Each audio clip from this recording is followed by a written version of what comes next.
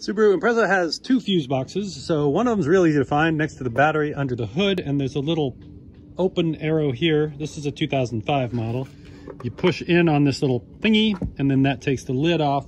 This gives you a map of where all your fuses are. You get a fuse puller and you've got a few extra fuses lurking in here in case you need to replace one.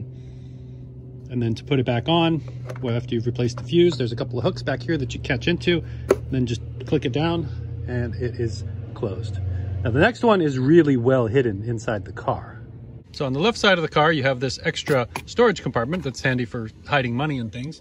And behind it are the fuses in the secondary fuse box. So what you do is you pull it up till it pops and then it'll come out. It has these pegs on the top to hold it in and there's a groove right here to let one of the pegs out once you've once you've pulled and popped it loose. And then on the back of it, it's going to tell you exactly what all of the fuses in here are for. So if one of those things has gone bad and you don't see the fuse for it under the hood, then it's because it's in this box. And the fuses look like this.